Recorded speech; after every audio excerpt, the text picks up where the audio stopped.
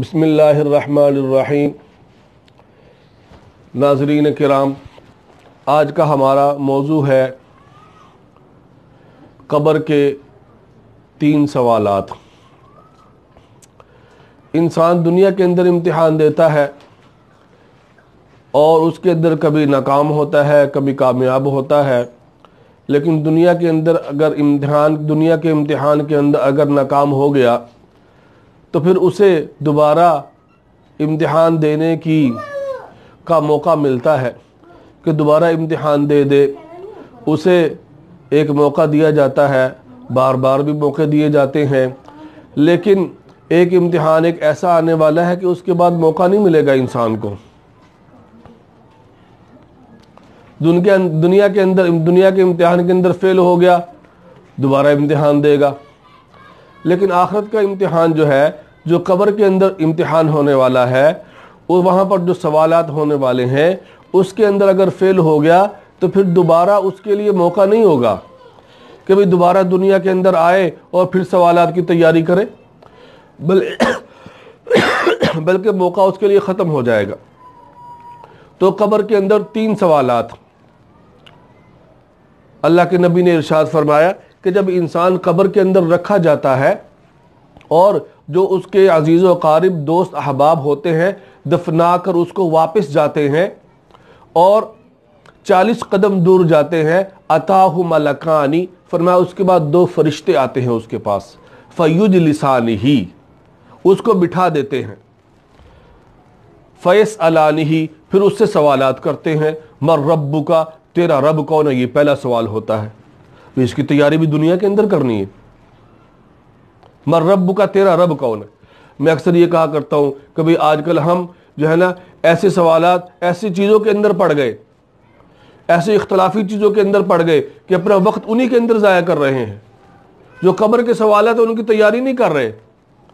کوئی کچھ کہتا ہے، کوئی کچھ کہتا ہے۔ کوئی اختلافی مسائل لے کر آ جاتے ہیں۔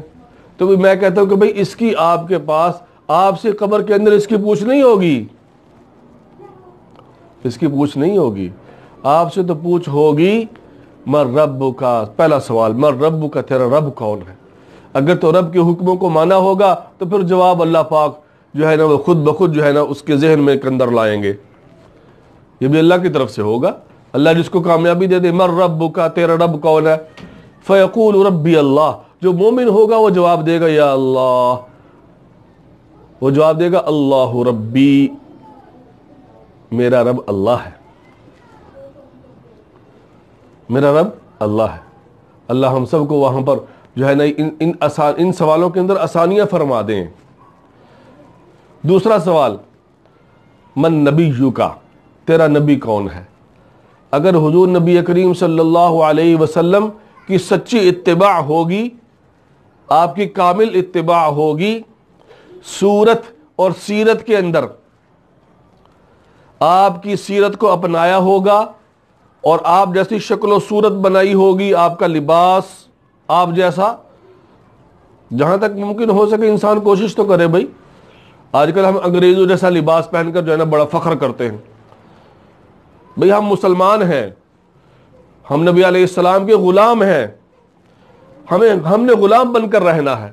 یاد رکھیں، اگر آپ نبی علیہ السلام کی غلامی کے اندر زندگی بسر کریں گے، تو اللہ تبارک و تعالی آپ کو دنیا کا بادشاہ بنوا دیں گے۔ تیسرا سوال ہوگا، ما دینو کا تیرا دین کیا ہے؟ تو مومن دے گا، جواب دے گا، دینی الاسلام۔ ان تین سوالات کا جواب جو دے دے گا، حدیث حدیث پاک کے اندر ارشاد فرمایا، پھر جنت سے ایک کھڑکی اس کے لیے کھول دی جائے گی۔ جنت سے کھڑکی کھول دی جائے گی۔ جہاں سے جنت کی ہوائیں، جنت کے کھانے، جنت کی جو ہے نعمتیں، اس کو ملتی رہیں گی۔ اور ایک خوبصورت حور اس کے پاس آئے گی۔ اس کے گلے کے اندر ایک ہار ہوگا۔ وہ اس کو پکڑے گا، ہار کو چھوئے گا وہ ہار ٹوٹ جائے گا۔ تو وہ بڑا گھبرائے گا۔ تو وہ حور کہے گی، کوئی بات نہیں، ہم اس دونوں ہار کو اکٹھا کرتے ہیں، اس کے دانوں کو اکٹھا کرتے ہیں اور اس کو دوبارہ سے جو ہے نا وہ بناتے ہیں۔ ابھی وہ ہار اکٹھا کر رہے ہوں گے کہ قیامت برپا ہو جائے گی۔ قبر کی زندگی اور حشر کی زندگی میں اتنا فرق، بس اتنی سی زندگی ان کے لیے، مومن کے لیے۔ کوئی لمبا زمانہ نہیں ہوگا۔